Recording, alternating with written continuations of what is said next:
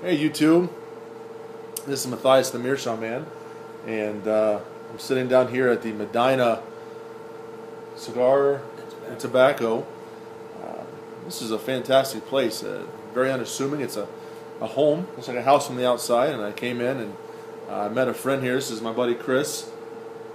How you doing, everybody? Chris, what are you smoking? Smoking an EP Carrillo inch. And uh, they looked fantastic. And uh, he grabbed that and it talked me into smoking this Blue Mountain cigar El Threesome. And uh, I got to tell you, it's a very good cigar. I was uh, a little skeptical uh, going the, from the Connecticut all the way down to Maduro, but so far this has been one heck of a cigar.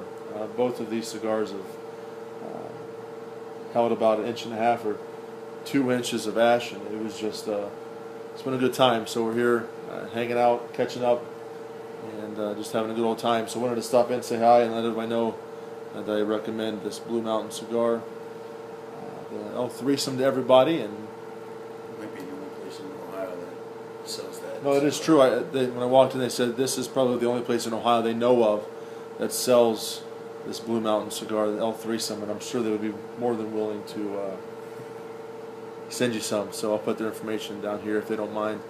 Um, but uh, just catching up with an old friend, uh, having a great conversation, and uh, so until then, Chris,